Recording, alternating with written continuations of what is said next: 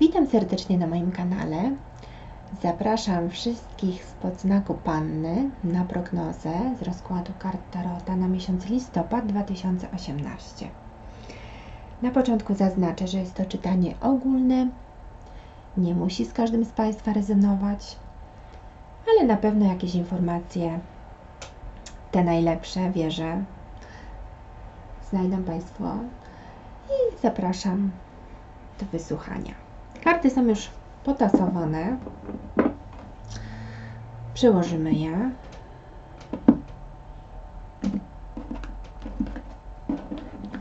I zaczynamy. E, karta, która reprezentuje Was w tym miesiącu, drogie panny. Paść kielichów. Co Wam pomaga lub przeszkadza? Siódemka kielichów. Szykuje się bardzo uczuciowy miesiąc, drogie Panny. E, jakie są Wasze działania w tej sytuacji?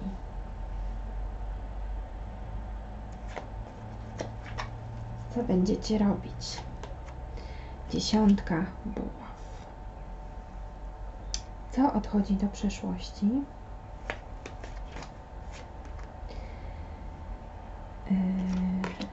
Rycerz denarów.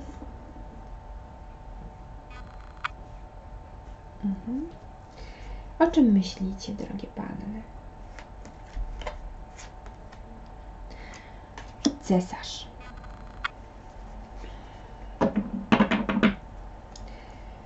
E, najbliższa przyszłość. Król buław. Och, drogie panny, co tu się dzieje? Co tu się dzieje? Odchodzi rycerz. Myślicie o cesarzu, a pojawia się król. No kurczę, fajnie. Dobrze. Wy w całej tej sytuacji, wasze czynniki wewnętrzne. O matko, król kielichów. Piękne. E, co o Was myśli Wasze otoczenie? Kto tam się czai w tym otoczeniu, drogie panny? Koło fortuny, czyli coś, coś tutaj się zadzieje, coś od losu, coś przeznaczonego. E, wasze obawy, Wasze obawy lub nadzieje, bardziej bym powiedziała, że nadzieje, umiarkowanie i rezultat całej tej sytuacji.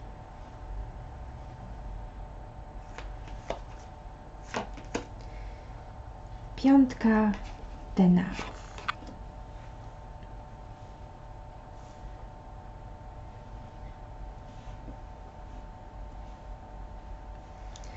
I w tle czytania wieża. E, no tak.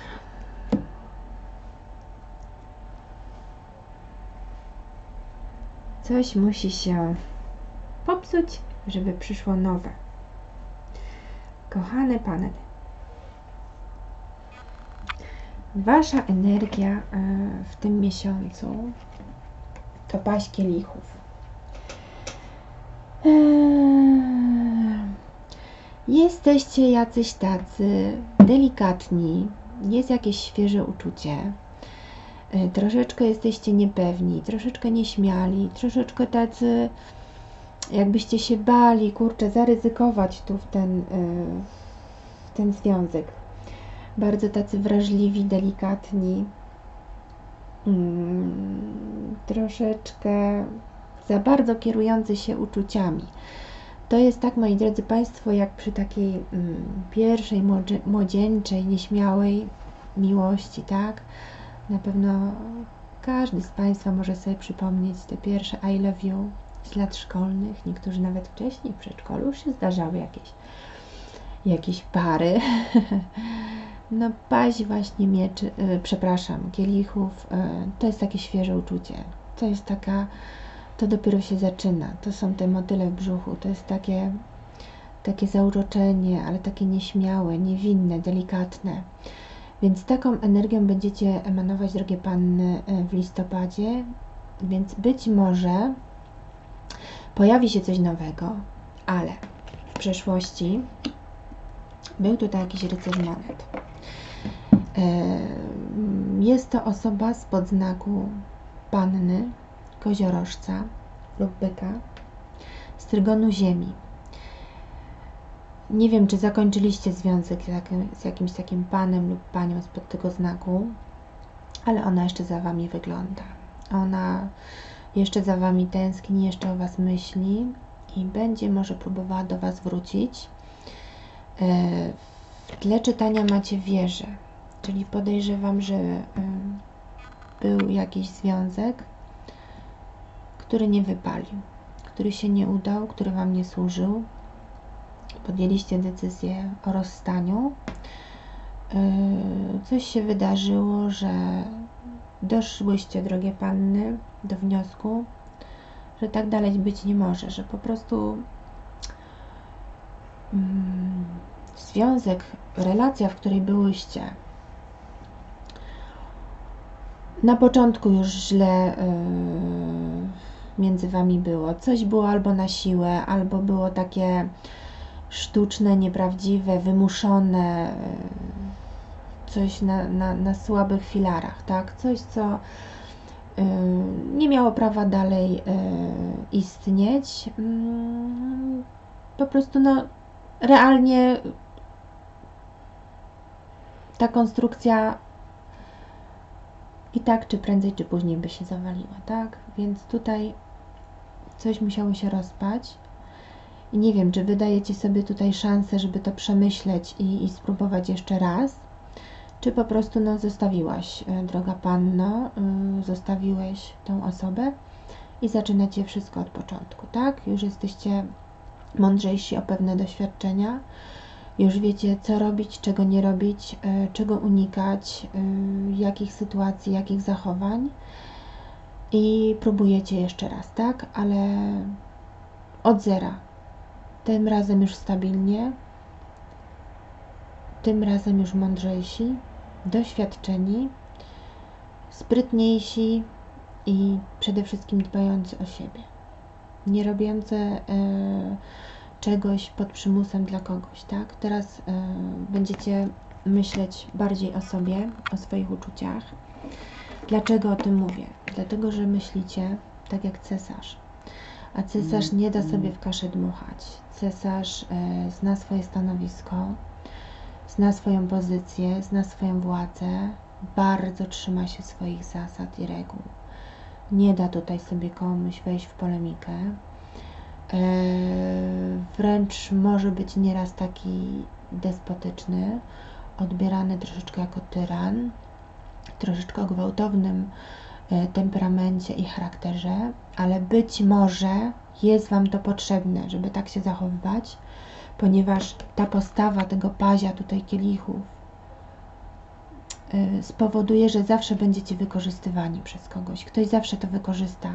Dlatego musicie być trochę y, takimi twardymi osobami, trzymać się zasad twardą ręką i nie pozwolić sobie nikomu wejść na głowę. Dlatego, drogie panny, bardzo Was proszę, żebyście tu po prostu były stanowcze, o, stanowcze w tym swoim postanowieniu. Jeżeli ten rycerz yy, monet miał odejść do przeszłości, koniec związku, Trzymajcie się swojego y, postanowienia, trzymajcie się swojego słowa, bo on patrzy tu jeszcze na Was. Zobaczcie, ten rycerz tutaj patrzy na Was cały czas. On będzie kombinował, on będzie próbował. Um, będzie Was jakoś tutaj chciał y, oczarować, żeby może wrócić, żeby może jeszcze raz spróbować. Nie. Nie dajcie się temu. Bądźcie tutaj po prostu twardo trzymającymi się e, swoich postanowień, bo to wyjdzie Wam na dobre, tak? Czyli musicie w tym miesiącu po prostu być tymi cesarzami, tymi władcami, panami samymi sobie. E, co pomaga lub przeszkadza? No właśnie, Droga panno, za dużo masz w głowie, za dużo masz w sercu, masz mieszane uczucia, czyli wahasz się, tak? Wahasz się, yy, czy go zostawić, czy go nie zostawić, co dalej będzie. Bujacie troszeczkę w obłokach, jak ten dyzio na łące, dyzio marzyciel, a może będzie tak, a może będzie tak. Nie. Pozbądźcie się tego, tego uczucia, pozbądźcie się tych myśli, bądźcie tym cesarzem. Jak zaczniecie troszeczkę za bardzo rozkminiać się nad sobą, rozktliwiać, rozpamiętywać tą osobę, która już ma odejść z waszej teraźniejszości, będziecie się męczyć. Będziecie się męczyć, będziecie cały czas miały tak jakby wyrzuty sumienia, tak? Cały czas będziecie rozpamiętywać, a może by zrobić tak, a może by zrobić siak. Nie. Jak, jak już podjęłyście decyzję o odejściu, trzeba to zrobić. E, wasze działania. E, jak wy postępujecie? Jest Wam bardzo ciężko. Jest już Wam bardzo ciężko z tym, jesteście przeciążeni, przemęczeni, e, marzycie o spokoju, marzycie o odpoczynku, macie już dosyć tej sytuacji. Bardzo byście chcieli, żeby się to już wszystko skończyło, bo um, bardzo to um, źle wpływa na Waszą kondycję, na, waszą, na Wasze samopoczucie. E, męczą Was te działania, więc y, jak najszybciej musicie e, zakończyć to. E, najbliższa przyszłość pojawia się król buław. Jest to mężczyzna bardzo taki przedsiębiorczy, bardzo zaradny, szybki, tu wpadnie, wypadnie, załatwi, wygadany, do tego bardzo przystojny. Zazwyczaj wysportowany, bardzo ładnie wygląda, podoba się kobietom. Ale uważajcie, bo zazwyczaj e, król buław e, no jest to facet, który niekoniecznie może zasiedzieć, że tak powiem, przytulnym gniazdku e, domowego zacisza. Jest to facet, który głównie myśli pod tym względem, żeby zaspokoić się seksualnie. I no jest taki troszeczkę babiarz, jest taki troszeczkę mm, jakby to powiedzieć, no głównie głównie myśli o, o erotyzmie, tak? Więc tutaj uważajcie, żeby ze skrajności w skrajność nie popaść. Może być też tak, że wybór miałyście, drogie panny, tutaj pomiędzy jednym panem a drugim, no i wybrałyście tego króla. Wasze czynniki wewnętrzne. No, wy jesteście po prostu jak król kielichów, tak, ciepła, spokojna, serdeczna osoba, która ofiaruje ci pełen kielich miłości. Jest to osoba, która po prostu jak już pokocha, to kocha. Taka artystyczna, dobra dusza. Wrażliwa też, tak, więc no cały czas tutaj mm, wychodzi ta wrażliwość Was. Jesteście bardzo panny w tym miesiącu uczuciowe, tak. Um, uważajcie, pamiętajcie o tym cesarzu, żeby być troszeczkę jak ten cesarz, bo e, ktoś może wykorzystać tą waszą dobroduszność, tą waszą taką, takie dobre intencje, tak? Taką przyjaźń, taką serdeczność, e, taką otwartość na ludzi. Wy możecie po prostu nie podejrzewać, że ktoś może Was tutaj chcieć wykorzystać, tylko tak, że na przykład zależy mu tylko na seksie, a nie na tym, żeby zdo, zrobić z Wami tutaj, stworzyć, przepraszam, zrobić, stworzyć z Wami fajny związek, tak? Może być to osoba, która po prostu chce mieć na jakiś czas partnerkę, ale nie planuje z nią jakiejś stałej relacji. Więc uważajcie na to swoje serduszko, uważajcie na tą rybkę, na tą świeżość tutaj, tak, u tego pazia, żeby Was nikt nie zranił. Żeby Was nikt nie zranił, bo wtedy po prostu, no, bardzo to przeżyjecie. Dobrze, kochane panny. Yy, otoczenie. Otoczenie koło fortuny. Czyli coś od losu się wydarzy, że yy, otoczenie to jest też otoczenie, przepraszam, koło fortuny to jest też zmiana losu, tak? Czyli yy, było dobrze, może być źle. No nie zawsze nie zawsze pada deszcz, prawda? Po tym deszczu przychodzi słoneczko, ale po słońcu znowu może być burza, tak? I to gwałtowna. E, to jest też e, pomoc innych ludzi. Może coś ruszyć do przodu, e, coś, co przyniesie Wam zmiany, zmiany na lepsze albo zmiany na gorsze. I to może być przy udziale jakichś osób trzecich.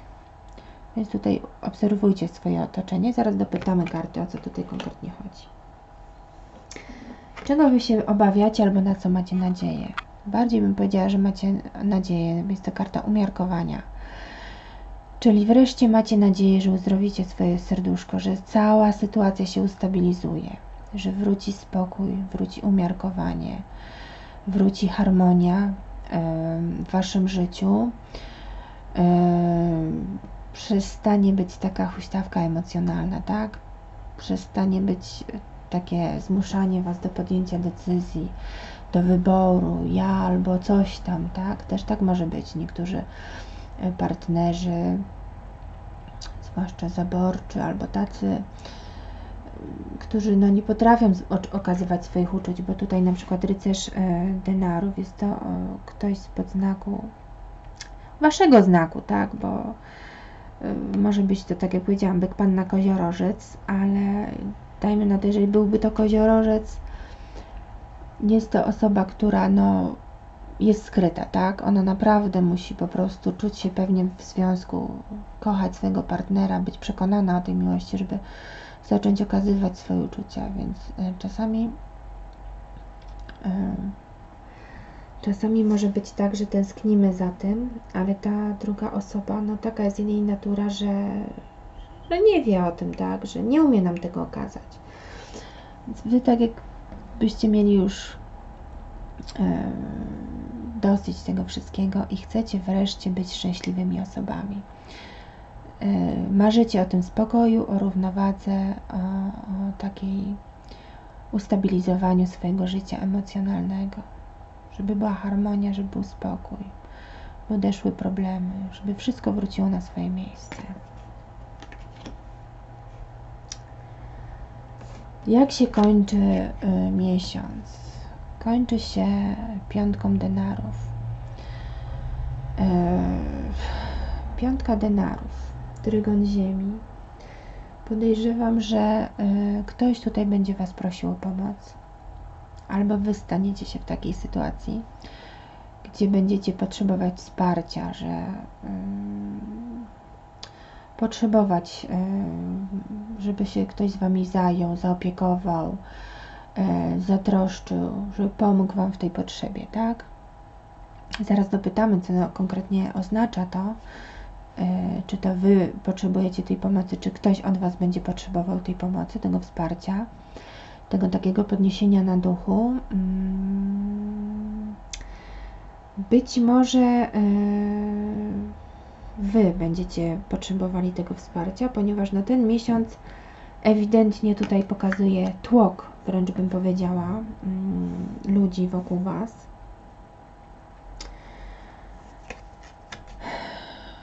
I ten dylemat, tak? Ten dylemat, co zrobić? Czy odejść i zapomnieć? Czy zacząć nowy związek? Czy co? Więc odetnijcie się od tych uczuć, drogie panny, bo one Wam tylko będą mieszać w głowie. Dobrze, wyjaśnimy sobie teraz karty. Wyjaśnimy sobie, kto to jest ten król buław.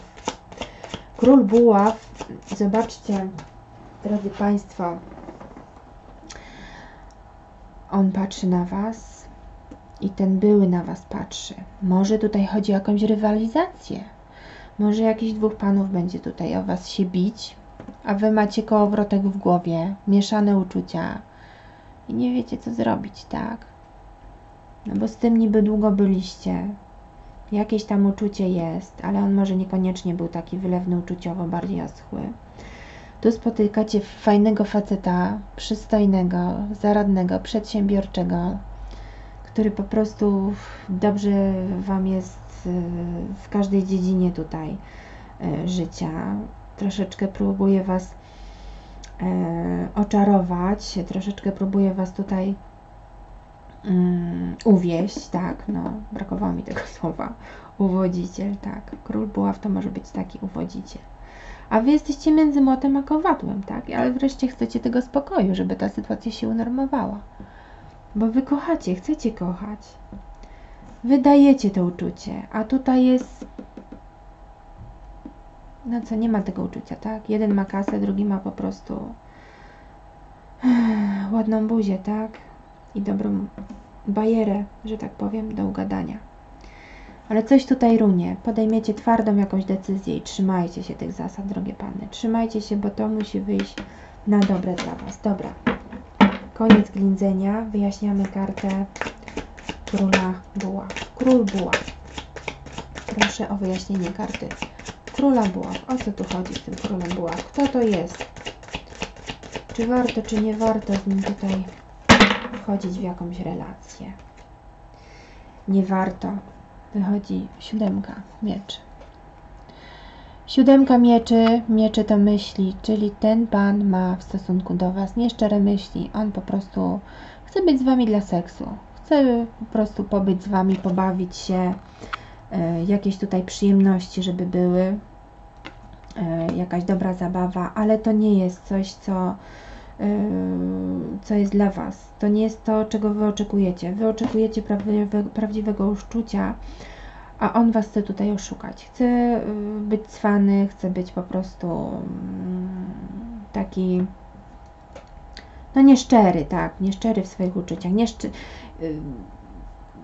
nie ma dobrych intencji w stosunku do Was, tak? Ma nieszczere myśli, więc zrezygnujcie z tego partnera. Jest to ktoś spod znaku ognistego, czyli może to być lew, baran lub strzelec. Uważajcie na taką osobę. Bo wy nie patrzycie ani na jednego, ani na drugiego. Oni obaj tutaj jakby rywalizowali. Być może y, zawrócił wam w głowie w jakimś pubie, na jakiejś dyskotece, tak? I, i, i może dlatego tutaj jakaś zdrada była, bo siódemka mieczy to jest też karta zdrady. Może zdradziliście go, y, tego rycerza denarów z tym y, królem buław. I teraz nie wiecie, co macie dalej robić, tak? Jest ta siódemka kielichów. A, a ten y, rycerz pentakli po prostu patrzy za wami cały czas, tak? Tęskni. A wy musicie jakąś tutaj stanowczą decyzję podjąć. Nie możecie tak bujać w, w tych obłokach. Musicie raz uciąć, rozwalić to, co, co nie służy, co tutaj jest dalej. Jest rycerz, no tak, y, przepraszam, Rydwan, macie sprawy w swoje ręce wziąć, tak? Macie sprawy w swoje ręce wziąć. Więc uważajcie tutaj na tego króla płonów. Uważajcie, bo on ma nieszczere intencje w stosunku do Was. On Was chce wykorzystać, chce Was oszukać. Na własnych celach. Proszę o wyjaśnienie karty koło fortuny.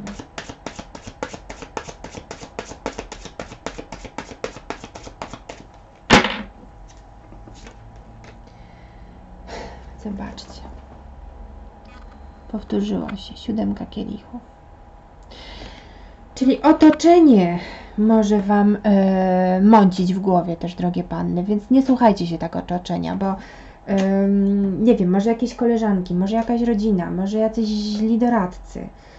Y, podsuwają Wam różne tutaj pomysły, a Wy nie wiecie, co zrobić. Ale to Wy macie wiedzieć, co macie zrobić. Wy bądźcie tym cesarzem. Wy zadecydujcie sami o swoim losie. Wy, nie koleżanki, jakieś przyjaciółeczki, jacyś dobrzy doradcy, yy, mama, siostra, czy Bóg wie kto. Nie. Wy sami podejmijcie decyzję, to, co Wam serce podpowiada. Wtedy najlepsze będzie to dla Was e, rozwiązanie. I o co chodzi tutaj z piątką pentakli? Proszę o wyjaśnienie. Widzicie? Dwa kielichy. Ktoś chce być z Wami w związku. Czyli tutaj yy, powiedziałabym tak. Mm, Ktoś Was prosi tutaj o pomoc, żebyście się nim zaopiekowali, żebyście mu pomogli. I będzie to Wasz partner, ten prawdziwy. Tak tutaj karty mówią. Czyli być może będzie to powrót do tego, do tego rycerza pentakli. Być może. Ale decyzja należy do Was. Bo Wam już jest ciężko z tym. A Wy chcecie komuś ofiarować to uczucie. Kochane panny, zobaczymy jeszcze, jak podsumowują całą tą sytuację aniołki. Jaka tu afirmacja anielska dla Was?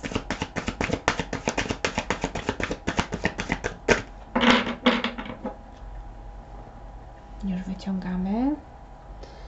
Aniołek dla Panny na listopad 2018. Amor, moje drogie, kochane Panny, czyli jednak będzie miłość. Będzie miłość. Zobaczcie, jak te karty ze sobą współgrają. Będzie miłość. Już czytam. Napełniamy Twe serce i umysł miłością, budząc w Tobie miłość do samego życia. Źródłem tego przebudzenia stała się Twoja decyzja. Wiecie co, coś niesamowitego, po prostu Twoja decyzja, e, żeby otworzyć się na miłość i cieszyć się nią. Pozwól sobie na spontaniczną celebrację wszelkich przejawów miłości. I tym pięknym akcentem, kochane panny, kończę to czytanie na listopad 2018 roku. Jeżeli czytanie Wam się podobało, w jakiś chociaż najmniejszy sposób rezonowało z Waszym życiem, bardzo proszę o polubienie mojego kanału, subskrybowanie go, kliknięcie w dzwoneczek, wtedy na bieżąco będziecie informowani o aktualnych filmikach dodawanych na kanał, aktualnych czytaniach. Cóż, życzę Wam wszystkiego co najlepsze, żeby Wasze życie się poukładało, żebyście znaleźli tą miłość swojego życia, tak? Tego wy... O Jezus, przepraszam, tego wyczekanego partnera.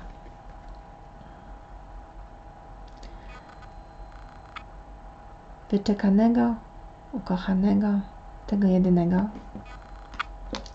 który, który gdzieś jest. I, I na koniec miesiąca podejmiecie taką decyzję, że on się objawi. Będziesz, mm, droga Panno, szczęśliwa. Jeszcze raz dziękuję za wysłuchanie czytania i zapraszam do kolejnych. Do usłyszenia.